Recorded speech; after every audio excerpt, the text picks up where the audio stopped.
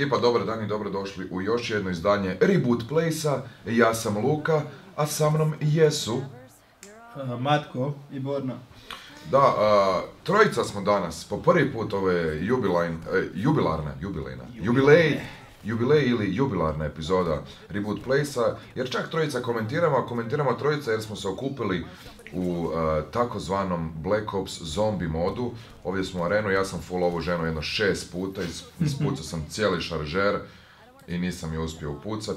Događalo se često, ne samo njemu nego i meni najviše. Dobro, tebi se Matko događalo zato što si PC Master Race pa si došao na konzole, spustio si se sa svog pantona kao i prekrasni kipovi, Apsolutno. ali za mene nema opravdanja, ja sam jednostavno, ovaj, jednostavno sam full bio sam loš. A, igramo, igramo, znači, um, Black Ops 4, koji je već u prodaji kad ovo gledate, već odavno, i mi ovo snimamo kad je već igra uh, izašla kompletno. Uh, snimali smo video prethodno, ako ste gledali Reboot Place Blackout iz bete, pa smo onda rekli, hej, o zombijima ništa nismo pričali, pa ćemo sad pričati malo o zombijima. Uh, ovo je, znači dolazi sa tri, um, tri scenarija uh, zombija, znači uh, dva su iz ovog Chaos timelina, jedna iz uh, regularnog old timey timelina, Uh, I četvrta kampanja je za nas koji nemamo Black Ops uh, Classified, ali znači ukoliko imate Black Ops Pass, onda imate još jednu dodatnu kampanju, znači sve ukupno ukoliko ste kupili deluxe e, izdanje igre, ovo najjače, najbolje, imate četiri zombi kampanje, što je najobilatije zombi Call of Duty iskustvo svih vremena. Nego, gospodo, ovaj, a, ja sam u ovom dijelu na početku bio potpuno beskoristan jer sam skupljao ovaj, ove, ove poene da nam, otključ, da nam otključavam vrata i oslanjao sam se na vas da me štitite jer sam starac, ja sam bio šo, ovaj, ovaj koji lovo nema again.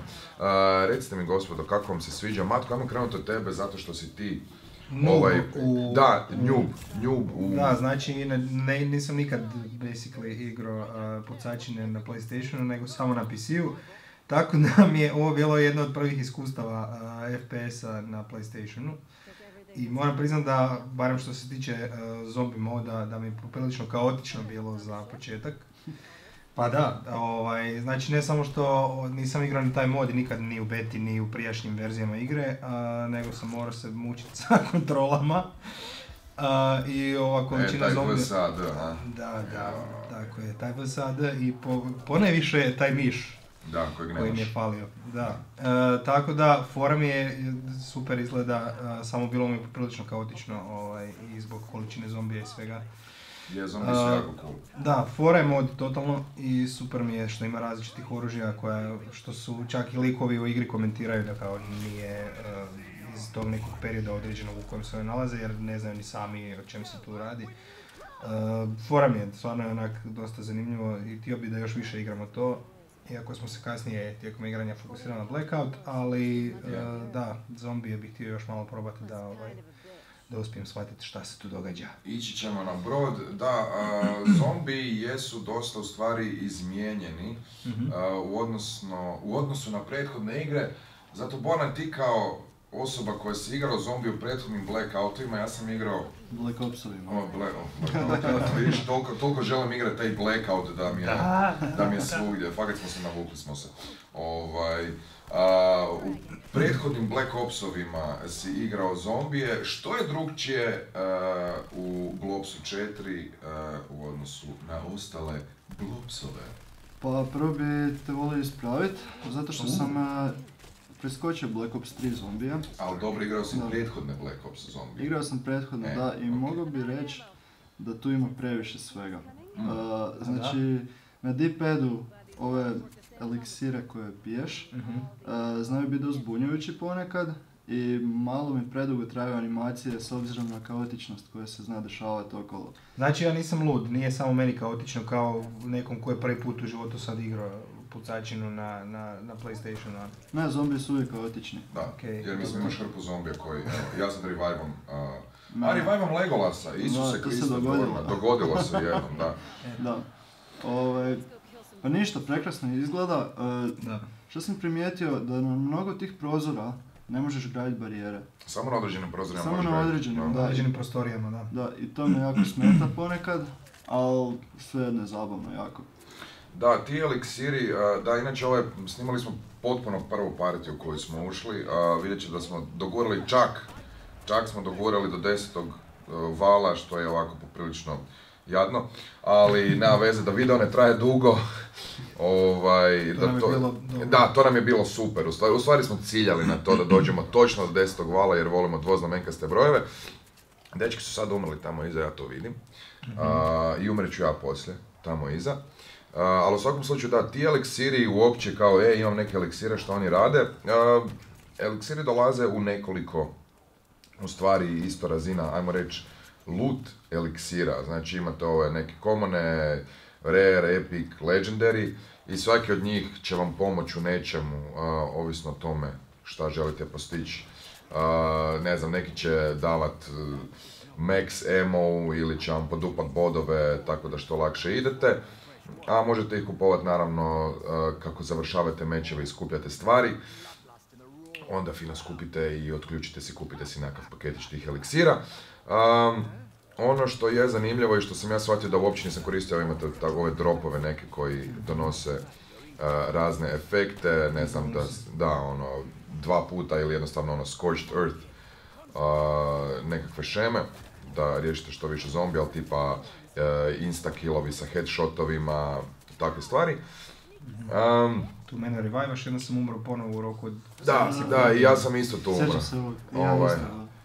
A, da, ti si tu umro i onda sam ja tu bježao od ja one žene. svoju Da, i... da, wow, reloadanje, uf, ovdje, ovdje sam se izvukao, izvukao kroz, kroz iglene uši, gledaj sad, samo štura, kaos. sorry dečki, yeah, you gon die, you gon die, ja neću. Um, A dobro, jedan da preživi, super je ako uspiješ malo Da. riješit, pa se vraćamo nazad. Da, vraćamo se svi nadad, naravno to je nekako klasično ribavanje. Ono što sam ja shvatio da uopće nisam koristio, a, vidite ovdje u donjem desnom kutu, pored sačmarice koju pišem demo, predivna pumperica koju obožavam, pogotovo u zombijima, i malo treba dugo za reload, ali dobro je. A, nisam uopće koristio ove posebne sposobnosti Borna, vidjet ćete kasnije da si ti onog nekakvog velikog zombi bruta, gladijatora, da si ga se sjekao s nekakvim mačem kojeg si imao, zato što imate i razne klase ovaj, u, u zombijima, tako da niste samo tip koji ide okolo i puca, nego ovog sam kao, kao eh, idem samo i full ga pogodio u zid. A, nije bitno i sad sam ga ubio. A, ej, sad ću ovu žensku od pipa fullat šest puta. Up, dva, evo, čekajte, reloadam.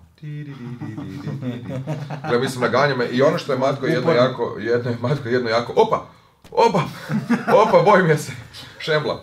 Um, Matko je primijetio jednu jako dobru stvar, a to je da zombi šemblaju, baš su onak nekak, jako su dobro animirani, super se kreću, tako da je u stvari, šta si ti rekao, da si na- Ako napravio, je to htio bio, ako je to bio cilj, da, ako je to bio cilj uh, da se malo oteža igračima u tom zombi modu, uh, da uzmu nekakvu realnost kretanja zombija, to je da oni okolo bauljaju i da onak idu s noge na nogu i padaju na sve strane, onda su to jako dobro implementirali jer je često u kaotičnim situacijama teško pogoditi zombije u glavu uh, i headshotati ih da ih ubijete što prije, jer onak letaju na sve strane. I onda je bila jedna situacija gdje sam sačekivao na prozoru, Da, sa čekušu si radio sa čekušu sam radio i zombica se penjala po stepenicama i tamo sam ciljao da kad popne se na zadnju da ću je pogoditi u glavu, ali kak se popela zaba, zabacila se na drugu Evo. stranu jer tipično zombi se kreću tako da se bacakaju na sve strane i profulo sam i trebalo mi je 4 metka da je ubijem. I sad tu Borna koristi ovaj svoj mač i bježi, što je odlična taktika. Ja sam ostao bez metaka i krvarim i tu ću definitivno umrijeti. Tako da ćemo se tu prebaciti na Borninu perspektivu. Ovaj, to su inače samo demo male upute našem montažeru, da zna gdje rezat. Da, da, je, je, mora, mora to imati na video. A, u svakom slučaju, da, e, još nismo uvijek u tim zombima jako puno i easter eggova i stvari, ja nosim kilt, naravno. A to se ne mat- vidi ako smo na bornoj kameri. A da, ne vidi se, ali ja nosim kilt. Ovaj, a, i, i-. ja sad, Bona tu malo trčkara ubija, opa, fino. Ti imaš sačmaricu, sačmaricu u zombi apokalipsama su stvarno ključna stvar.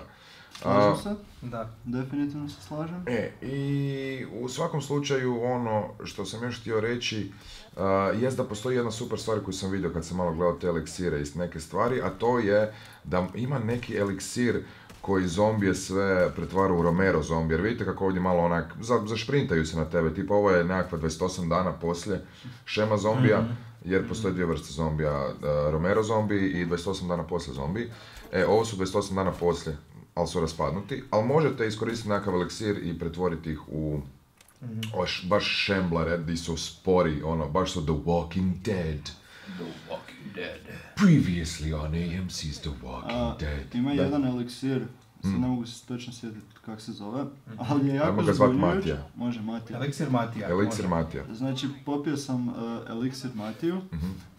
i teleportirao sam se negdje. E, da, to je super stvar. Ali bilo je jako zbunjujuće i nije bilo super, zato što sam tebe trebao izvući van. Da.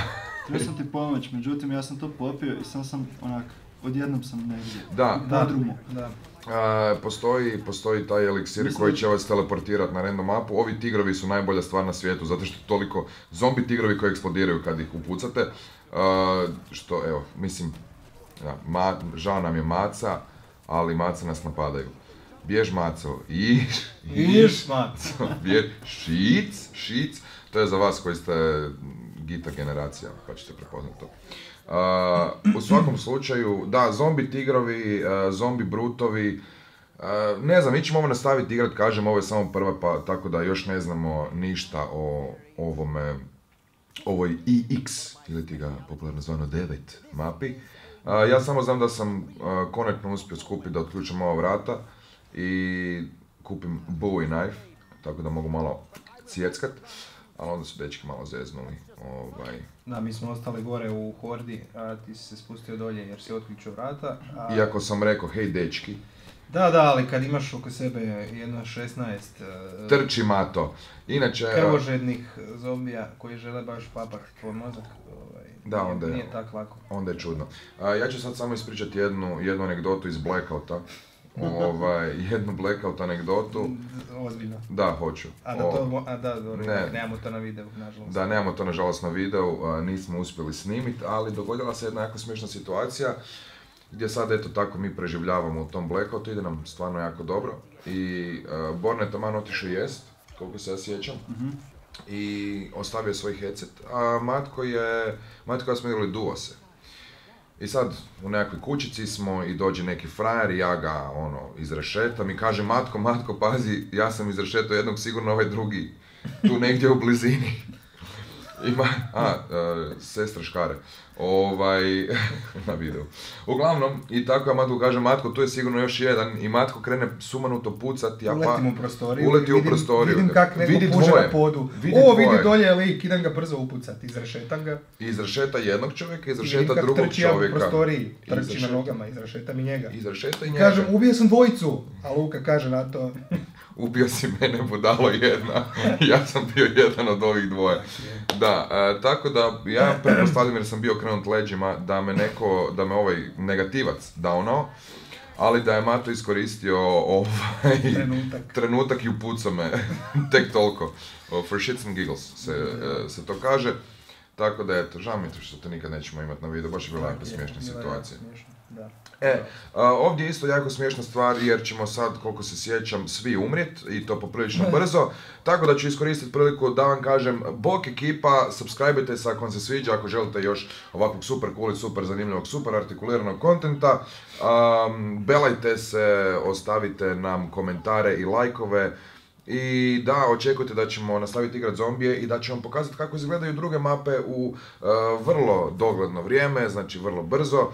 Uh, I da, to je to, ekipa, vidimo se, bok. Ćao. Dženja.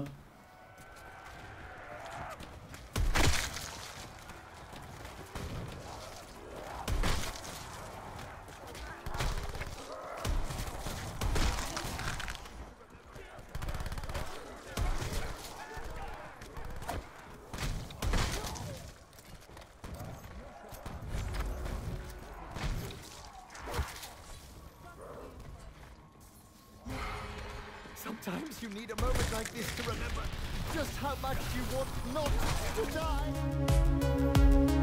die.